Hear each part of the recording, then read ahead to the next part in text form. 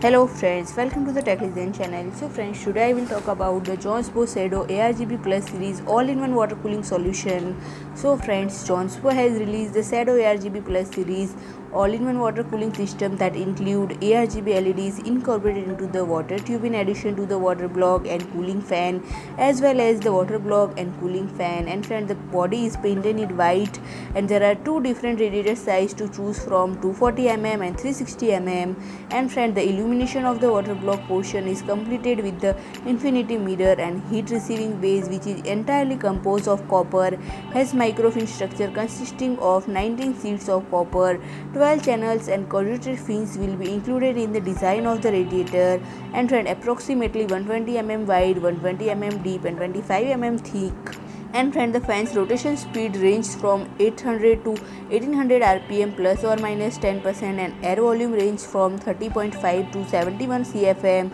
and noise level is 35.7 dB or less according to the manufacturer and friend the water block measures 67 mm in width 93 mm in depth and 46 mm in height and friend the radiator size is 120 mm wide 394 mm deep and, and 27 mm high for the 360 mm model and 120 mm wide, 274 mm deep and 27 mm high for the 240 mm model and friend, the radiator is 120 mm wide, 394 mm deep and 27 mm high for the 360 mm model. So friend if you like my video please do like, share and comment and don't forget to subscribe my channel and press the bell icon.